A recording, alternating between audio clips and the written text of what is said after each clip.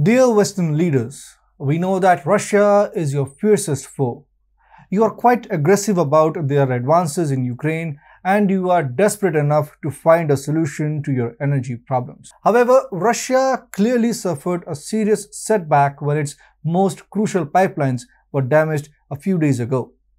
We assume that you shared our amazement at this distressing event and have guessed who was behind the Nord Stream sabotage as well. But if Russia's pipeline is broken, why in the world is the US refusing to let Russia inspect its own property? This is quite odd. Hello and welcome to TFI Global, the foreign affairs and geopolitical analysis arm of the TFI Media Group. I'm your host Piyush. Let's begin. The West is not allowing Russia to inspect its own property. According to Reuters, Kremlin has advised European nations that Russia needs to be part of investigations into explosions in the two Nord Stream gas pipelines under the Baltic Sea. Reportedly, Dmitry Peskov, the official spokesperson of the Kremlin, has stressed that the West is purposefully not allowing Russia to be a part of the investigation. Peskov said, so far from these news conferences which took place in Denmark and Sweden, we've heard disturbing statements that any cooperation with Russian side is ruled out. Furthermore, he added, we obviously will be waiting for some clarification on that as we believe that definitely participation of the Russian side in examining the damaged area and investigating what happened should be mandatory. Russian Deputy Foreign Minister Sergei Vershinin was quoted by Russian agencies as saying there should be an investigation, naturally with participation of Russia. Four leaks were discovered last week on the Nord Stream pipelines connecting Russia to Germany, raising political tensions already sky high since the Kremlin sent troops to Ukraine in February.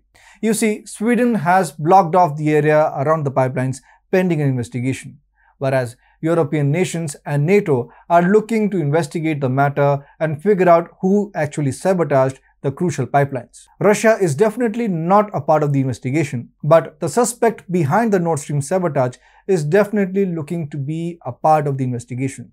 Yes, the blue-eyed boy and the Grand Master of the West, the United States, wants to take part in the investigation. According to CNN, the US is considering offering NATO allies Denmark and Sweden to use its most advanced underwater sound reading capabilities to analyze audio recordings from around the time of the Nord Stream pipeline's apparent sabotage.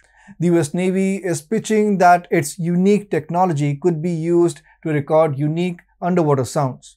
But Russian President Vladimir Putin is criticizing the participation of the United States. Reportedly, Putin blamed the US and its allies for the leaks. To be very honest, even the recent behavior of the US officials suggests that US had some cunning business in sabotaging the Nord Stream pipelines.